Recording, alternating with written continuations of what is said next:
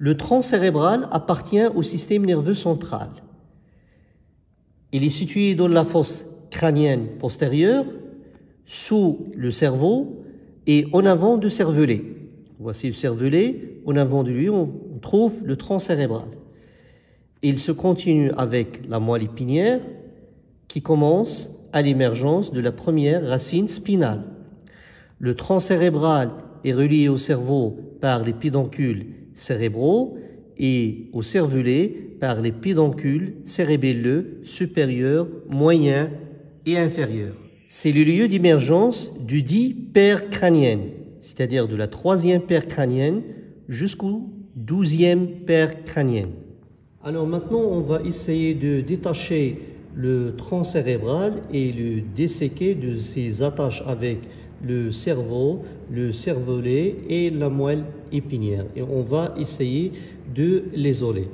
Donc voilà, on a isolé le, tronc cérébral. On distingue qu'il est composé d'une face, ici c'est la face antérieure du tronc cérébral. Là c'est la face postérieure. Et là c'est la face latérale. Le tronc cérébral est composé de trois étages on a la moelle allongée ou le bulbe. Ensuite, on a le pont ou la protubérance. Dans l'ancienne nomenclature, c'est le pont de Varol. Et enfin, on a le mésencéphale. La moelle allongée fait suite à la moelle spinale en s'allongeant en haut, formant le bulbe. La limite entre la moelle allongée et la moelle spinale, c'est l'émergence du premier filet nerveux radiculaire, ou tout simplement c'est le bord supérieur du C1. Sur la face antérieure de la moelle allongée, on distingue un sillon médian, c'est le sillon médian antérieur. Puis sur les côtés, on a un autre sillon, on le voit ici, c'est le sillon antérolatéral. La limite entre la moelle allongée et le pont est marqué par un sillon horizontal ici, c'est le sillon bulbopontique. On distingue également un relief situé à la partie supérieure du sillon antérolatéral. Ce relief correspond à l'olive bulbaire. L'olive bulbaire. Également, on peut distinguer au niveau de cette moelle allongée, toujours sur la face antérieure, mais euh, on ne le voit pas sur cette euh, maquette. On le voit surtout sur des coupes euh, rayées, c'est-à-dire des coupes du cadavre, au niveau du sillon médian antérieur, croisement des fibres, on le voit à ce niveau-là. Ce croisement du fibre, il correspond à la décussation des voies motrices, c'est-à-dire des voies, la voie pyramidale. Ensuite, le deuxième étage de tronc cérébral, c'est le pont. Euh, le pont, euh, on remarque qu'il est traversé par des fibres d'aspect euh, transversal, on le voit sur cette maquette. Normalement, sur le tronc cérébral, les fibres ont une direction verticale, mais sur le pont, ils ont une direction transversale pour aller vers le, le, cervelet et pour former le pédoncule cérébelleux moyen qui est coupé ici. Le pont présente à sa partie médiane une gouttière, le voit ici, la gouttière, c'est le sillon basilaire. La limite entre le, le pont et la moelle allongée, c'est le sillon bulbopontique, et la limite entre le pont et le mésencéphale, c'est le sillon ponto-mésencéphalique. Et le dernier étage qu'on va analyser maintenant, c'est le mésencéphale. Le mésencéphale est formé par deux cordons volumineux, c'est les pédoncules cérébraux. On va le voir sur une autre maquette pour mieux l'étudier. Voilà le, tronc cérébral en place. Euh, maintenant, on va essayer de zoomer l'intérieur pour mieux voir l'étage euh, mésencéphalique à ce niveau de tronc cérébral. Donc voilà, et on remarque les deux donc, euh, pédoncules cérébraux à ce niveau. Et plus vers l'avant, on a le tractus optique. Voilà le tractus optique avec le chiasma optique plus vers l'avant. Donc les bandelettes optiques ou le tractus optique à ce niveau-là. Donc entre les pédoncules cérébraux ici et ce tractus optique normalement qui appartient au diencéphale, ils vont euh, délimiter un losange. Le voit ici, un losange. Et au niveau de ce losange, euh, il est appelé également losange opto, optopédonculaire, optopédonculaire.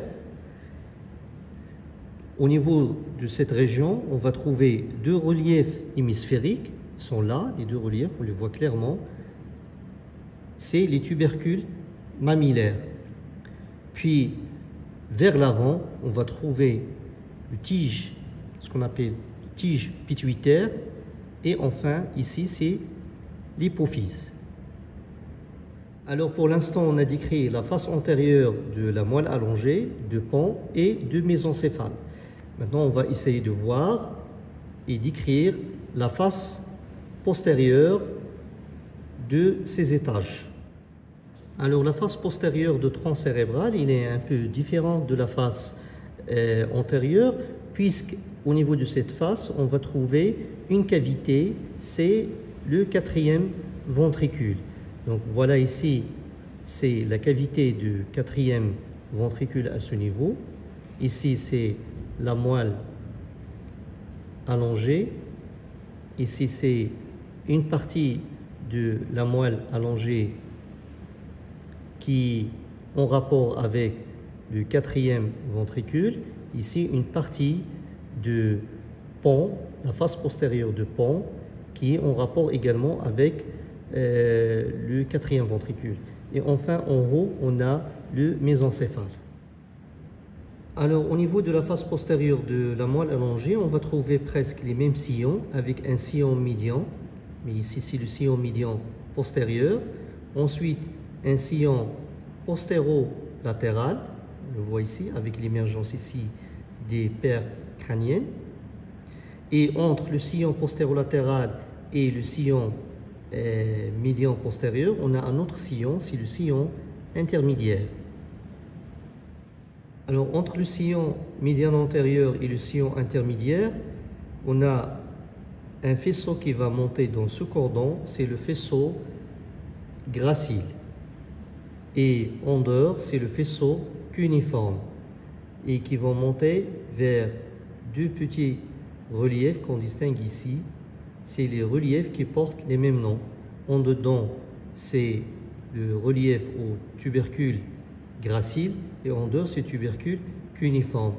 Ils ont un autre nom, vous pouvez trouver le faisceau de Gaulle pour le faisceau gracile et le faisceau du Bourdac le faisceau cuniforme.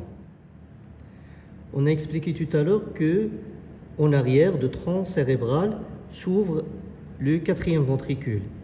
Et ici, c'est le plancher du quatrième ventricule qu'on voit ici.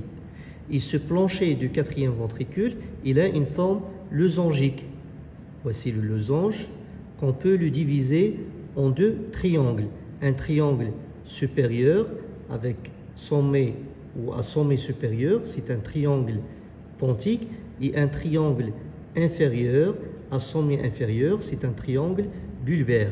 C'est le plancher du euh, quatrième ventricule, encore appelé la fosse rhomboïde.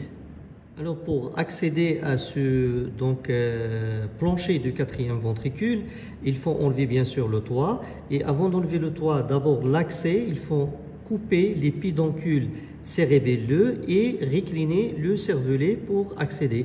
Donc voilà qu'on voit sur cette, cette, maquette. Donc la face, ici c'est la face antérieure de, de tronc cérébral. La face postérieure c'est ici. Donc, il est caché par euh, le, cervelet. Donc, il faut exciser ou euh, enlever le cervelet et couper aussi les, les pédoncules cérébelleux pour accéder à cette face postérieure de, ou quatrième ventricule ici. Alors cette fosse rhomboïde est divisée en deux parties longitudinales par un sillon médian qu'on appelle tige du calamus. Alors le triangle pontique comprend de deux dents vers l'odeur l'éminence médiale, on voit ici l'éminence médiale ou éminentia terrestre et caudalement le colliculus facial, colliculus facial, chaque côté. Et en dehors, on a ce qu'on appelle l'air vestibulaire, chaque côté. Au niveau du triangle bulbaire, on a également des reliefs de dedans vers l'odeur. On a le trigone de l'hypoglosse, ensuite le trigone du vague, le trigone du nerf vague, et enfin on a l'air vestibulaire bulbaire. L'air vestibulaire est situé sur les deux parties. On a l'air vestibulaire pontique et l'air vestibulaire bulbaire. Et au centre, on a ces formations-là, des formations qui sont euh, d'aspect euh, transversal. C'est ce qu'on appelle les stries midulaires ou stries acoustiques. Alors l'étage supérieur, c'est l'étage mésencéphalique. Ici, c'est la face postérieure de mésencéphale. On a coupé cette partie, on n'a que cette partie-là. Et on distingue que la face postérieure de mésencéphale est marquée par la présence de deux tubercules. C'est ce qu'on appelle les colliculus. On a colliculus inférieur, colliculus supérieur. Le colliculus inférieur appartient aux voies auditives et le colliculus supérieur appartient aux voies visuelles.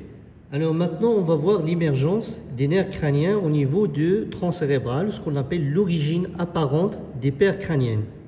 Euh, au niveau du euh, tronc cérébral, on a l'émergence du dit paire crânienne, c'est-à-dire de la troisième paire crânienne jusqu'au douzième paire crânienne. La première paire et la deuxième paire, c'est-à-dire le nerf olfactif et le nerf euh, optique, ce sont des faux nerfs crâniens, puisque ce sont des prolongements du système nerveux central. On a ici l'émergence du nerf 3, troisième paire crânienne ou le nerf oculomoteur qui émerge au niveau du sillon ponto-mésencéphalique. Le voit ici. La quatrième paire crânienne, c'est le nerf cochléaire. On ne le voit pas sur la face antérieure parce qu'il va émerger de la face postérieure, ici. Le nerf cochléaire. Le nerf 5 ou cinquième paire crânienne, ici c'est le nerf trijumeau. Et ce nerf trijumeau, il marque la limite théorique entre le pont et le pédoncule cérébelleux moyen, qui est coupé ici.